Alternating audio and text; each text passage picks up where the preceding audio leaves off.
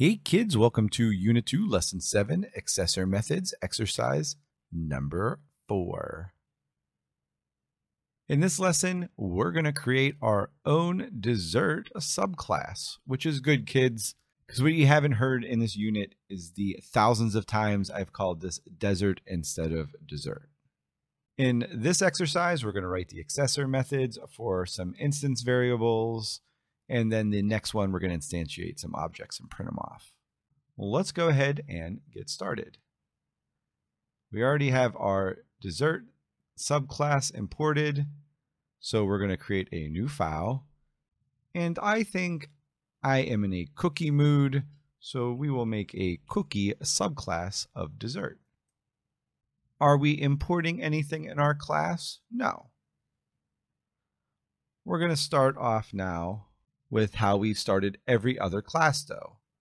We're going to public class. Our file name is cookie, so our subclass is going to be cookie. And we want to extends or get all of the methods from our dessert class.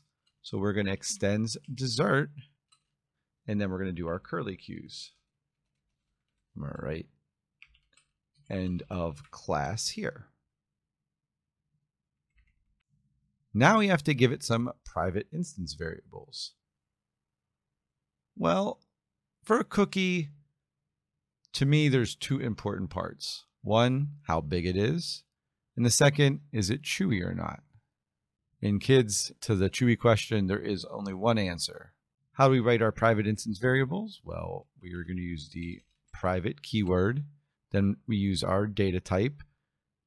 For size, we could go diameter, I don't think we're going to get into fractions or anything like that. So why don't we use an int for whole numbers and we'll just call it diameter of the cookie.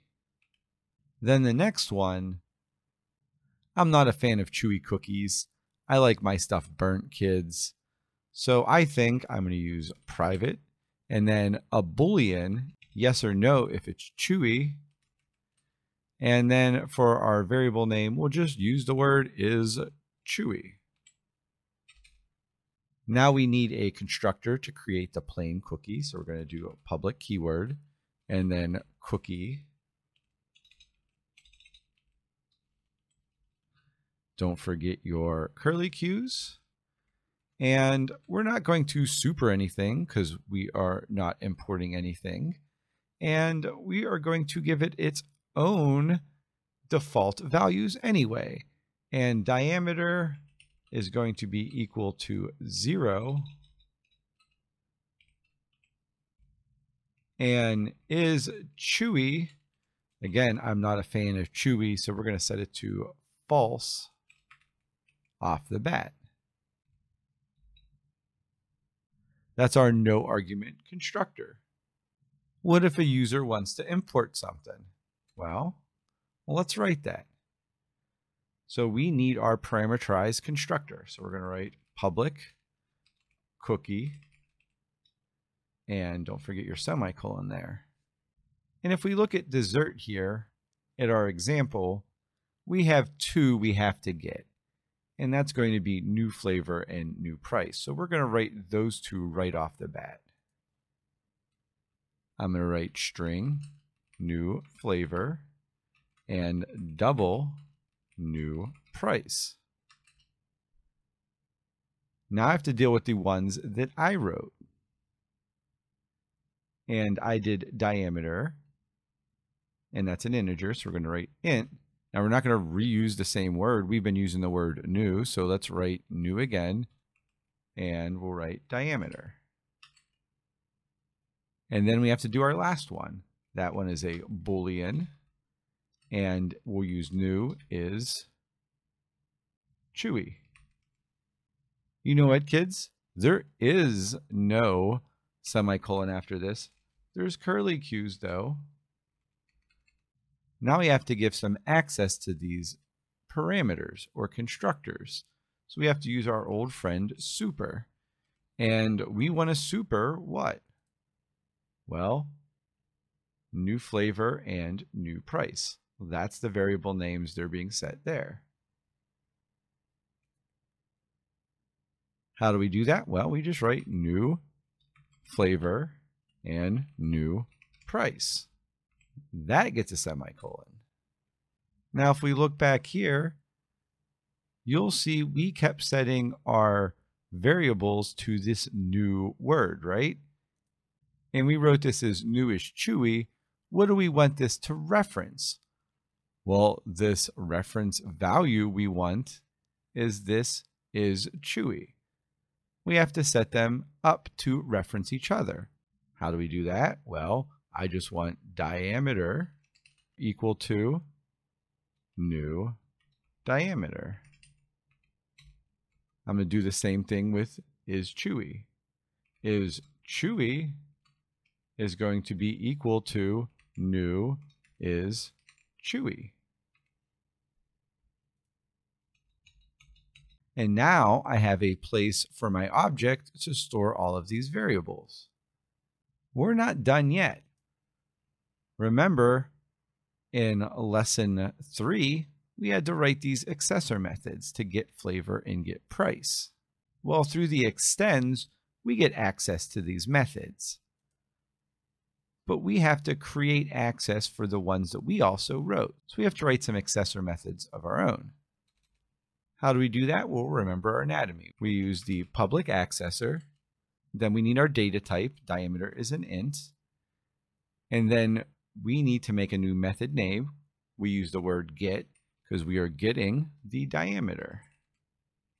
Don't forget your parentheses for this. And then we have to open up this method.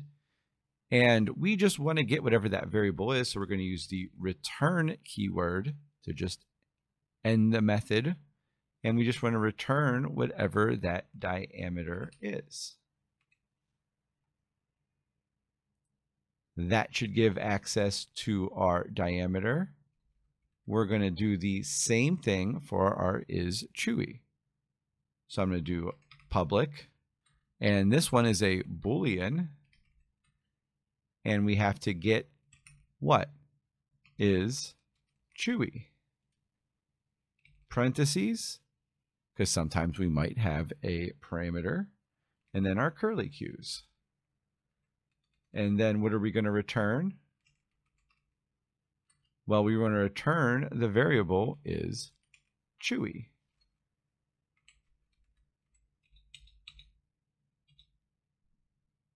That means anytime get is chewy is called, is chewy will be returned.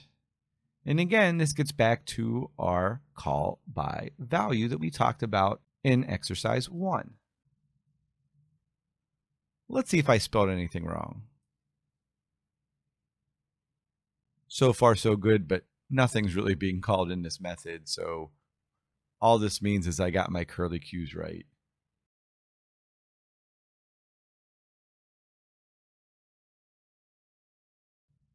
Key takeaways from this lesson, kids, is really understanding this new structure of how we're writing subclasses.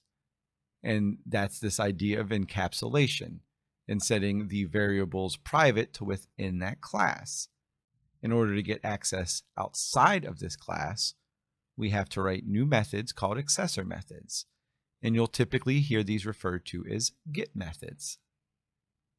Again, this lesson is really enforcing how we write these accessor methods.